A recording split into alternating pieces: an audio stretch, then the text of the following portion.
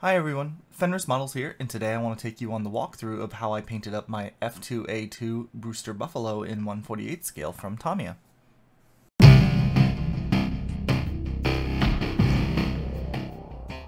First, I start with pre-shading all of the panel lines. This is doubly important on this kit because I'm not planning on panel lining it, but I'll give more detail on that a bit later.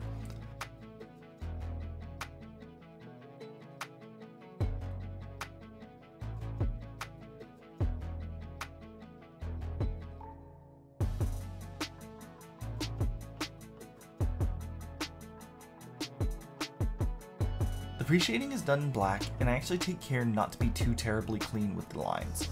I want the sort of messiness with them that will add some nice visual interest in the kit when we apply the next coat.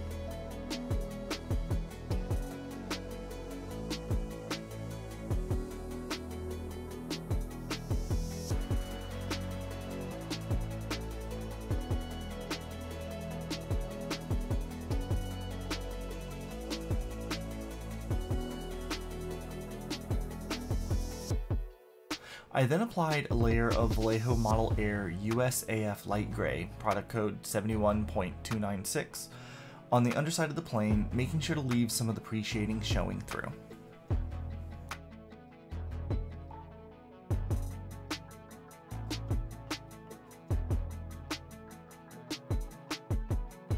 which was then followed by a similar application of Vallejo Model Air Camouflage Medium Brown, 71.038, on the top half of the plane.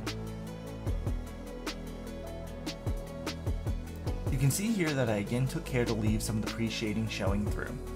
Unfortunately, I had run out of gloss varnish and I knew that my panel liner would not behave nicely for me at that step, so I opted to let the pre-shading do all of the work here. I think it winds up turning out alright. Let me know what you think by the end of the video.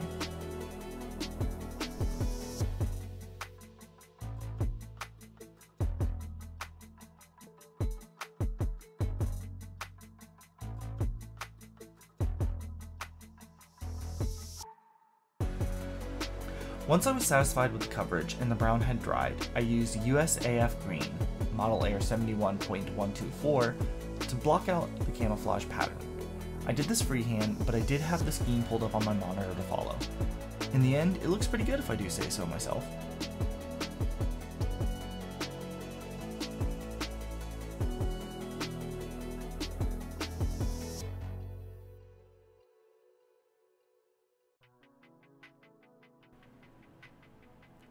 Next up are the touch-ups.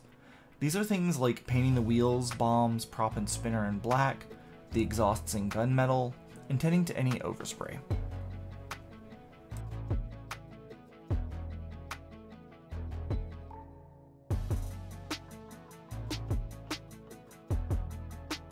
Then it was time to start the decals.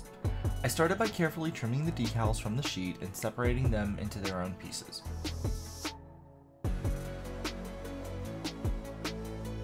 Now again, because I didn't have any gloss varnish, I needed to rely heavily on microset to help reduce any silvering in the decals. I put a little down straight on the paint and then gently teased each decal into place. Due to the age of the kit, there were a few decals that had torn in places.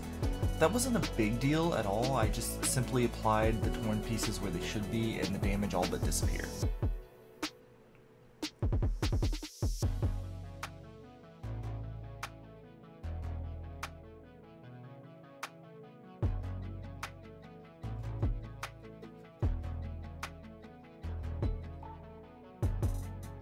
Once all the decals were applied, they got a coat of microsol applied. Some needed more than one application to help give it a more of a painted on effect. And there you have it, the Tamiya F2A2 Brewster Buffalo in 148 scale. I quite enjoyed this build, but I do wish that I had some gloss varnish on hand. I think the effect would have been even better, but I'm quite happy with what I accomplished with what I had. So what do you think of this build?